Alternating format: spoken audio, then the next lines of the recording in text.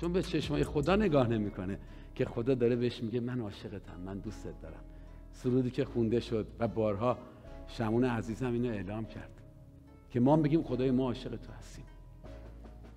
با چشماش داره میگه موقعی صبح بلند میشی کلام خدا رو می‌خونی. رازگاهان داری. وقتی میای تو کلیسا تو پرستش وقتی که برادر و خواهر تو هموطن تو می‌بینی یک پیام هست. خدا عاشق توست. خدا تو رو شکل خودش آفریده. قبل از اینکه در رحم شکل بگیریم مطابق کلام خداوند نگاه خدا اونجا بوده.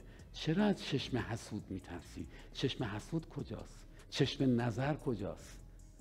اینها برای من و تو که به عنوان فرزند خدا هستیم هیچ قدرتی نداره هیچ جایگاهی نداره.